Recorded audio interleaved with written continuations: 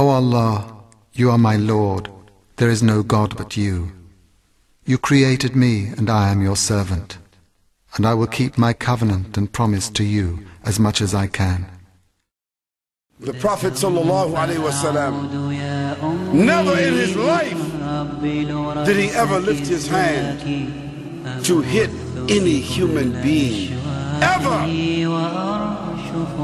Not a servant, not a wife, not a child, not a friend, nor an enemy, except when that enemy was opposing Allah and opposing the message. Then the Prophet ﷺ turned into a tiger, into a lion, and he executed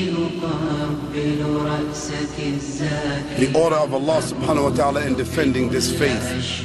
And he transformed from someone that the companions and the people said, Muhammad sallallahu alayhi wasallam, he was as gentle, he was as shy as a virgin on her wedding night, hiding behind a curtain. He was that kind of man. He was that pious. He was that shy. He was that gentle in his speech. Yet it was said that when the Prophet ﷺ was met on a battlefield, he was ferocious in defending Allah subhanahu wa ta'ala. And when the companions of the Prophet sallallahu alaihi wasallam used to look for him on the battlefield, they said, Wallahi, we found him in the middle of the enemies, fighting.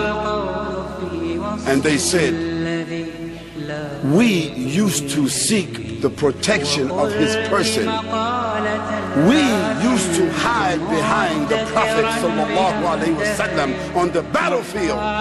He was such a warrior and statesman on the battlefield commanding and fighting for the way of Allah subhanahu wa ta'ala. But once he was off the battlefield, his eyes were downcast and he was speaking softly and he was gentle and he was warm and he was sacred and soft and caring and crying because Allah subhanahu wa ta'ala mentioned وَمَا أَرْسَلْنَاكَ إِلَّا رَحْمَةٍ لِلْعَالَمِينَ